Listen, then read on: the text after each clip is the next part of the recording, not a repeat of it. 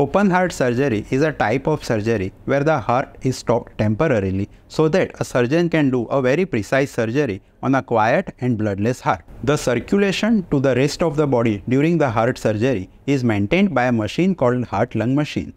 This is a very big and complicated machine and as its name suggests, maintains blood flow to the rest of the body while heart is not functioning. Once the surgery is over, the heart is restarted and the patient is gradually disconnected from the machine and heart takes over its normal function of supplying the blood to the rest of the body. Open heart surgeries are done to treat a variety of heart conditions. The commonest surgery on heart done in adults is coronary artery bypass grafting surgery also called CABG or simply a bypass surgery. When blood vessels supplying blood to the heart are narrowed due to disease, the blood flow to the heart is restricted.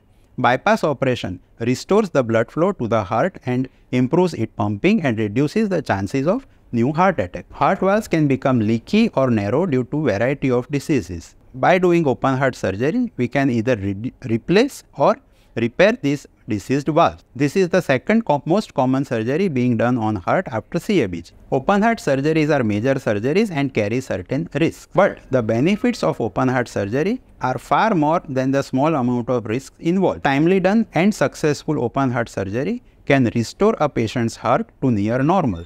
This allows the patient to live a happier, healthier and a more meaningful life. For more such informative videos, follow Aadicura.